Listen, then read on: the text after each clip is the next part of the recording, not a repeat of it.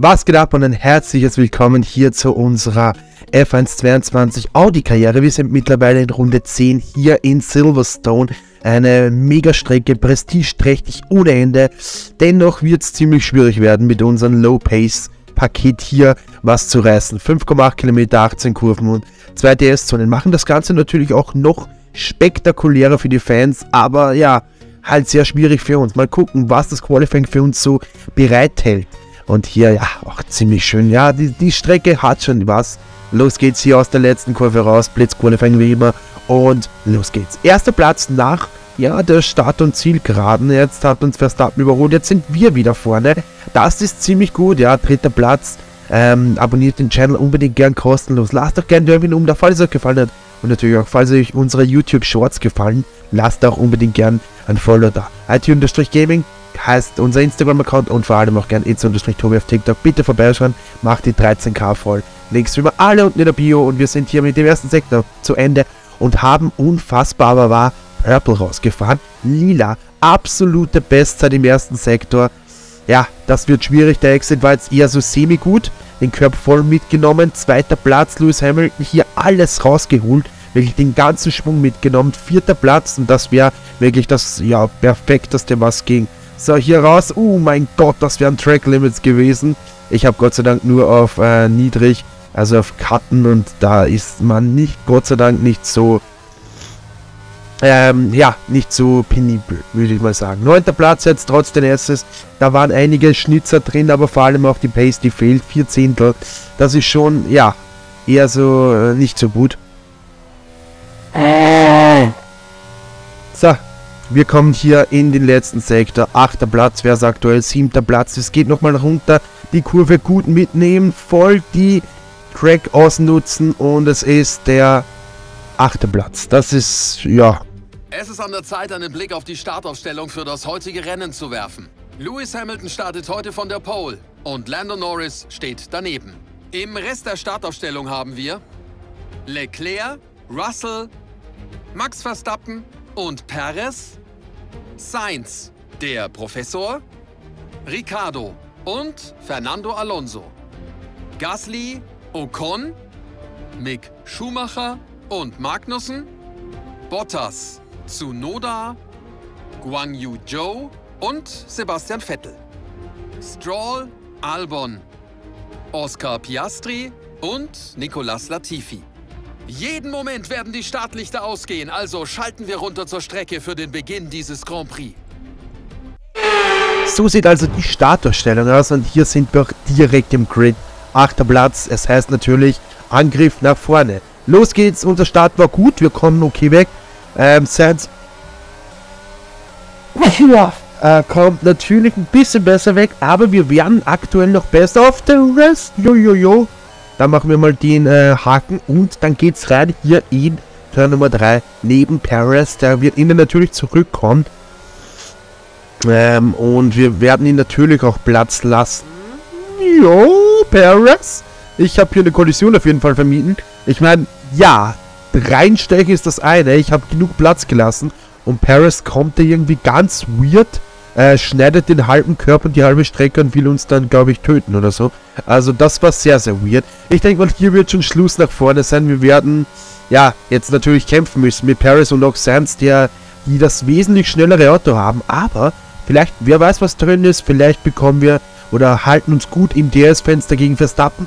Ich bin für alles offen auf jeden Fall. Äh, und ich hoffe natürlich, hoffen ist immer das Beste, aber natürlich äh, können ist noch besser. Ähm, ich hoffe, ich mache alles äh, Menschenmögliche, um hier dran zu bleiben. Aber es sieht nicht gut aus. Lieder im zweiten Sektor. Uh, das ist, könnte was werden. Im Windschatten, der Windschatteneffekt ist hier wirklich richtig, richtig schnell. Also der, der arbeitet hier richtig gut. Zwei Zehntel durch den Windschatten aufgeholt. Oh mein Gott, viel zu spät auf der Bremse. Ich, ich wusste nicht, dass es, ja, hier mit dem Reifen äh, so gut bremsen geht äh, nicht so gut bremsen geht, so natürlich. Oh, war zweimal lila. Ähm, also das sieht richtig gut aus. Unsere Pace ist hier sehr strong. Wir sind an Verstappen noch dran, aber ich denke mal, das liegt doch, weil Norrie da vorne fährt und so. Und auch Leclerc, glaube ich, ne, ich glaube eher Leclerc ist der Lokführer. Also der bremst da alle ein bisschen ein. Gut für uns, aber natürlich schlecht für die Konkurrenz da vor uns, weil die müssen halt jetzt richtig, ähm, ja, äh, schnell an dem Norrie vorbei oder auch an dem äh, Leclerc vorbei. Ich bin mir nicht ganz sicher, ob das Leclerc ist oder doch Norris. Äh, einer bremst auf, ich glaube es ist Leclerc, also wenn wir uns da den Abstand angucken, ist es ganz klar Leclerc. Es ist äh, auch hier, schauen wir uns links mal, wir können, nein, wir machen das Überholmanöver wie Max Verstappen und Lewis Hamilton 2021 und so geht's, wenn einer nachgibt oder der andere die Eier hat und ja, nachgibt auf jeden Fall. Wir kommen hier richtig... Ja und das stimmt mich natürlich sehr freudig. Ich meine, wir können die Red Bull beide hinter uns lassen, auch wenn die wahrscheinlich jetzt unnormal pushen werden. Aber wir hängen immer noch im DS-Fenster von George Russell. Ja, der kommt, der kommt. Noch kein DS. Äh, das wird noch einfacher zum ähm, ja, Verteidigen. Aber ich denke mal, boah, bist du depper, das war sehr knapp mit den Track Limits. Hier in dieser Kurve Stowe äh, ist auch mal Michael Schumacher ähm, geradeaus mit Full Speed in die Moor gefahren, hat sich beide Beine gebrochen. Also das war schon damals eine richtige Highspeed-Strecke. Das ist die schnellste Rennrunde. Im Mittelsektor verlieren wir ein bisschen. Ja, das ist natürlich der Sektor, wo du kaum Kurven hast und die Erstes natürlich drin sind. Da bin ich ja, äh, das Auto einfach, da ist das Auto einfach nicht zu wendig. Wir positionieren uns hier ein bisschen anders, mehr Schwung aus der Kurve mit rauszunehmen. Leclerc ist, äh, ich bin mir nicht ganz sicher, weil Leclerc hat sich jetzt auch von Norris absetzen können. Ich glaube, es ist eher Norris, der hier der Bremsklotz ist. Und ich, ich frage mich auch, warum Norris immer im Qualifying so gut ist und dann im Rennen ja ein bisschen ähm, ja, zurückstecken muss. Das ist, oder abbeißt. Also Norris ist hier echt nicht so äh, der schlechte Fahrer. Also da, da muss es wirklich an der Pace des Autos liegen. Wir sind genau andersrum. Hier haben wir nochmal die Start-Replay. Hoffentlich haben wir da auch diese ähm, ja, Situation mit Checo Paras, der hier... Oh, Norris vom zweiten Platz gestartet. Alter, das war ja mal ein Mega-Qualifying von ihm. Hat er in der ersten Kurve direkt zurückstecken müssen gegen Leclerc. Wir gehen hier auch rein gegen Paris. Ne, miteinander mit Paris hier. Und hier waren wir vorne und Paris hält dann... Nein, hier waren wir auch wieder vorne. Da gehe ich aber ein bisschen neben die Track. Dann nebeneinander, schwierig zu sagen, aber ich weiß nicht genau. Paris hat dann natürlich ähm, richtig nachgelassen. Also, da, also er hat natürlich nachgelassen, weil es sonst nicht möglich gewesen wäre. Äh, er hat ja auch neben der Strecke überholt oder sich einen Vorteil durch das Cutten der Kurve äh, verschafft. Aber dennoch, ich weiß nicht genau, was er sich da gedacht hat bei dem Manöver. Aber ja, man, man weiß es nicht, man ist so ein bisschen im Getummel, hat nur ein paar Millisekunden Zeit zu entscheiden. Und äh, wir kennen das, glaube ich, alle, dass man da manchmal eine Fehlentscheidung trifft. Ich sage nur, erstmal schon. Aber ja, von mir. Äh, Scheißbull. Jetzt hängen wir auch hier an George Russell dran und das ist fast wie ein Märchen. Wir können mit der Pace mithalten. Ich denke mal, es ist auch nur eine Momentaufnahme, aber die roten Reifen halten. Unsere Pace ist strong. Auch wenn der Mittelsektor eher so nicht mein Sektor ist, können wir hier mit Russell ähm, noch immer noch mithalten. Muss Hamilton, der ist erst, okay. Also wenn wir mit Russell mithalten könnten, sollten wir auch die Hamilton Pace halten können. Und auch Hamilton, sehen wir, hat seinen riesen Vorsprung, den er da auf Leclerc hatte, eingebüßt. Jetzt geht es in die Box rein. Wir probieren den Undercut gegen Russell, eventuell auch gegen Norrie. Sind nur 1,4 Sekunden, also das kann auf jeden Fall klappen. Ähm, Leclerc führt an. Hamilton war auch schon in der Box, glaube ich. Oder? Ja, Hamilton war schon drin. Unsere Reifen sind so durch. Ich weiß nicht genau, wie das die KI macht dass die das sie macht, Runden mit den roten Starts fahren können. Und das auf einer Strecke wie Silverstone. Es ist mir ein Rätsel. Ähm, vielleicht nicht so viel pushen wie ich, aber ähm, dennoch, also das ist echt ein Wahnsinn. Die KI ist ein Reifenflüsterer anscheinend. Wir kommen hier ja ganz weit hinten raus. Nur Guan Yu Zhou und Pierre Gasly, die halt auch beide gestoppt haben, kommen hinter uns raus. Das ist aber auch, ich glaube, die längste Box neben äh, Abu Dhabi im Kalender. Also wirklich, die Box ist so unendlich lange. Da, da kann man auch nichts sagen dagegen. So, da. Jetzt erst natürlich die Reifen schnell auf Temperatur bringen, dann richtig pacen und hoffentlich klappt der Undercut gegen Lando Norris oder beziehungsweise gegen Charles Leclerc. Charles Leclerc ist vor uns. Okay, der Undercut hat auf jeden Fall geklappt, weil auch ein Lewis Hamilton hinter uns gerutscht ist. Ich weiß nicht genau, was da abgelaufen ist, aber der Undercut hat sowas wie von gewirkt. Äh, und jetzt fahren wir da quasi um den Sieg, oder? Also, das ist äh, Halleluja. WTF, ich, ich weiß einfach nicht mehr, was ich sagen soll. Hamilton hinter uns, Verstappen natürlich hinter uns. Und jetzt gehen wir hier einfach vorbei. Mit den wärmeren Reifen kommen wir hier an Charles Leclerc mit dem äh, Rausbeschleunigen vorbei. Ich, ich weiß nicht mehr genau, um was wir hier fahren. Es könnte der erste Platz sein, aber Podium, denke ich mal, ist es auf jeden Fall, weil ein Hamilton war klar erster. Auch ein ähm, äh, Leclerc war klar auf Podiumkurs. Und jetzt fahren wir, wir Underdog hier, mit dem Audi, die einfach, ja, vor 10 Rennen in die Formel 1 eingestiegen sind, fahren hier in Silverstone ums Podium, wo ich mir eigentlich ganz, ganz wenig Chancen ausgemalt habe. Und dann auf einmal, pup, kommt wirklich die Chance, drei Zehntel, uh, der könnte gleich wieder ganz, ganz weit von hinten kommen. Der Piastri ist in der Box und auch die restliche Spitze ist drinnen. Mal gucken, wie das jetzt ausgeht. Ähm, jetzt nur noch nicht verzagen. Wir halten natürlich ein bisschen Leclerc auf. Also es ist jetzt nicht so, als ob der jede Kurve vorbei will. Aber wir merken schon, ich habe einen kleinen Zug. Herr Hamilton drückt auch ordentlich an. Aber mal gucken. Und es sieht aus, als ob wir hier tatsächlich die Führung übernehmen. Wir sind erster Platz nach einem Undercut der, der Hölle. Wirklich, das war ein höllischer Undercut, der uns hier auf den ersten Platz nach vorne ja, gespült hat, würde ich fast sagen. Achte Runde von 13. Wir haben leider kein DS, also das heißt, sollte uns Leclerc angreifen, haben wir nicht mal die Möglichkeit zurückzustechen. Also, also natürlich mit DRS-Hilfe, so kann man schon zurückstechen, aber es wird auf jeden Fall hart werden. Vier Zehntel und acht Zehntel, immerhin drei Sekunden zu Russell, also das bedeutet, der dritte Platz ist auf jeden Fall, ich würde mal sagen, sowas wie von, ja, so safe. Aber ja, alles andere kann auf jeden Fall spannend werden. ES-Manager muss sitzen und gerade auch die SS, da darf ich nicht viel, ähm, ja, falsch machen. Hier wieder zwei Zehntel bei Cops Corner verloren. Äh, eine, eineinhalb Zehntel waren es, aber da noch, äh, es war knapp. Gucken wir uns nochmal die Replay an. Hier gegen äh, George Russell konnten wir einfach nichts äh, machen. Es war einfach ein klassischer DRS-Zug, würde ich mal sagen. Jeder bekommt DRS außer der erste und dann bist du halt einfach ja aufgeschmissen. Du kommst nicht vorbei, du hängst da hinten. Und ich denke mal, so ist es auch den anderen gegangen, weswegen wir das so gut aufholen konnten. Weil eben ein, ein Russell oder auch ein Leclerc nicht an Norrie vorbeikamen. Und hier dann, oh mein Gott, das war ein guter Versuch. Das war ein richtiger Verstappen-Move. Einmal gemoved und ja, dann schickt er uns weiter. Das war ein bisschen mad, denke ich mal, von, von ihm. Aber dennoch, äh, das war schon sehr haarig hier, dieses Manöver. Halleluja, war das knapp.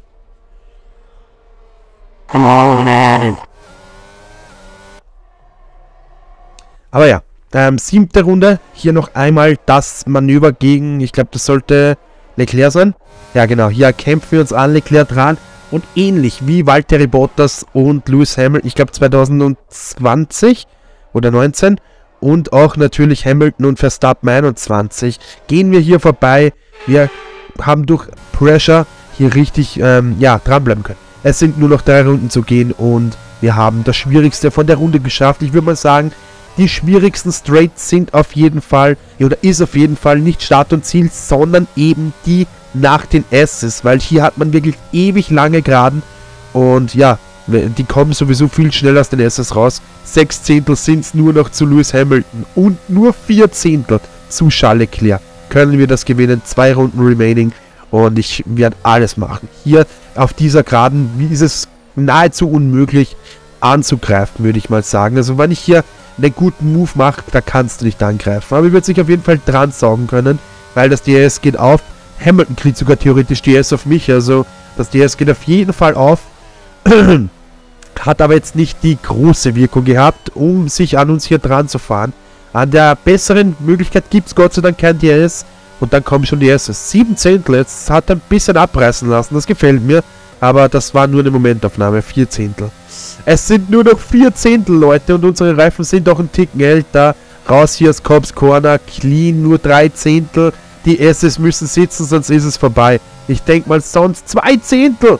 Und es sind nur noch unter ein, nur noch unter 2 Zehntel. Leclerc fährt gefühlt neben uns. Er darf da hier auch beim Aufdrehen. 1,8 Zehntel. Wir müssen den Move machen. Nein, wir bleiben innen. Wir lassen ihn hier mal die Chance. Ja, aber können hier nicht reinstechen. Das geht einfach nicht. Hier kommt fast Hamilton noch vorbei. Und es ist leider, leider es war mir auch irgendwie klar, ja, da war ich ein bisschen zu spät auf der Bremse, aber es war mir auch irgendwie klar, dass wir das gegen Leclerc nicht halten können. Eventuell, dass wir dann noch mit DRS ein bisschen, ja, uns spielen können. Ja, da müssen wir einmal moven, aber das war knapp, aber ja, ich denke mal, das war noch okay.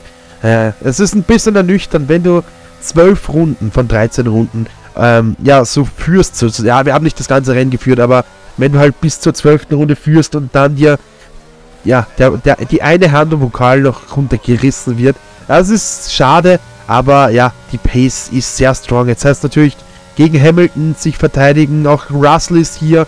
Äh, Perez ist nicht weit weg, also ein blöder Fehler und du bist gleich Vierter, Fünfter. Und das ist auf jeden Fall, was es zu vermeiden gibt.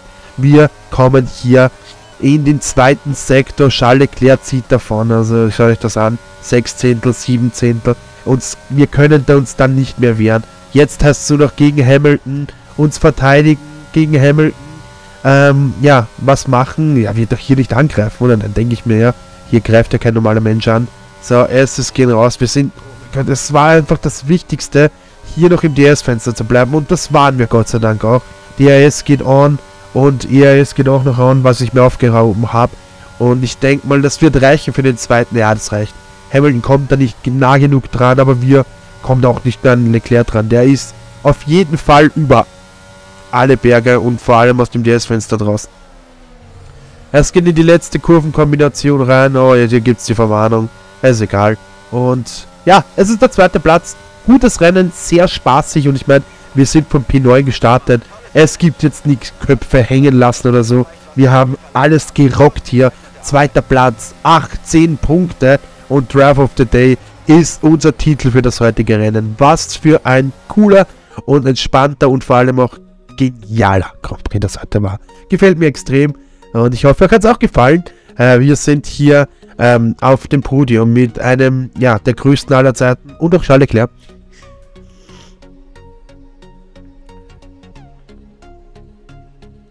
Ja, äh, man kann nicht sagen, er ist ein tolles Rennen gefahren und hat uns im richtigen Moment überholt und der war auch ja, ein, ein, ein Pace-Unterschied da, der, den man nicht überbrücken kann.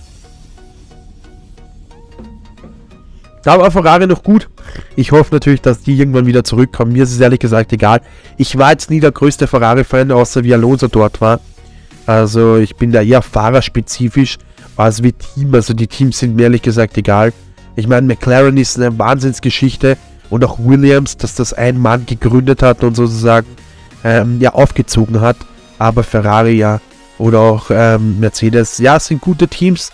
Auch Red Bull natürlich, österreichisches Team, sind tolle Teams, aber ich würde jetzt mal sagen, dass das eher so zweitrangig ist, weil ja, ein Team kann nur so gut sein wie seine Fahrer und natürlich andersrum auch, ein Fahrer kann nur so gut sein wie sein Auto, aber ja, das ist jetzt eine andere Sache. Wir sind hier mit 18 Punkten, können wir uns sehr zufrieden geben. 124 Punkte haben wir schon angesammelt in 10 Rennen. Das sind 12 Punkte im Durchschnitt. Also richtig gut. Perstl leider noch nicht gepunktet, aber auch einige andere nicht gepunktet. McLaren ist hinter uns. Sie haben mehr als die, also die haben nur die Hälfte unserer Punkte. Und wir konnten hier auch George Russell schlagen. Das ist natürlich auch wichtig. Ich weiß nicht genau, warum wir Russell in unserer Rivalität bekommen haben. Das kann ich mir ehrlich gesagt nicht erklären, weil Russell schon eine Spur besser ist wie wir. Oder auch das, ja, bessere Auto hat. Aber ja, natürlich, Herausforderungen, auf die stehe ich und ich bin sehr gespannt.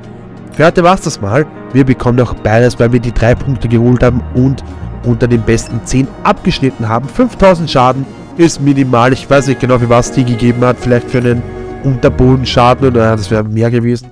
Neuen Sponsor dürfen wir uns auch aussuchen. Mal gucken, was da so geht.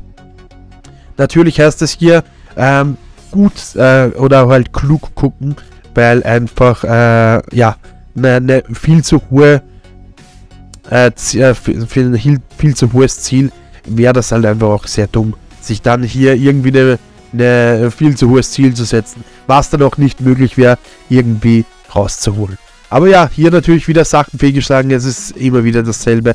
Das nervt mich ein bisschen, weil wir haben letztens schon drei Sachen, die fehlgeschlagen waren, jetzt wieder eins und dann, da gehen die ganzen wertvollen Punkte drauf aber ist klar, man hat als Beginner-Team oft Rückschläge. Für heute war es das mal, Leute. Nächstes Mal steht dann unser Heim an. Österreich Spielberg mit dem Sprint mit dem zweiten des Jahres. Da freue ich mich auch extrem drauf. Ein Spezialhemd wird es da geben.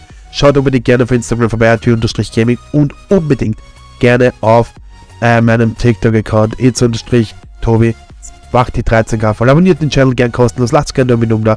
Und bis morgen oder übermorgen oder später auf TikTok und ciao.